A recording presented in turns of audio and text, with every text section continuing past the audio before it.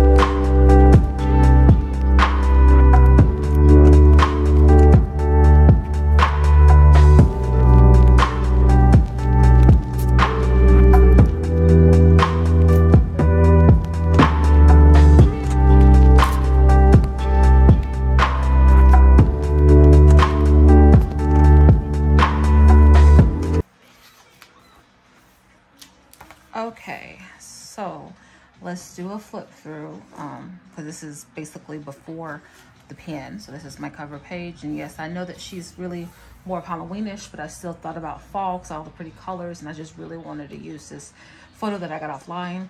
Here's my um, habit tracker my habit and my mood tracker. I will go ahead and add that in when i get um when i finish this video. And here's my morning pages um, I may go back and add like a little quote on these pages here like I did not last week but the week before. My prayers, my food log, um, and my gratitude. And then here is my week. So this is for the week of the 20th through the 26th.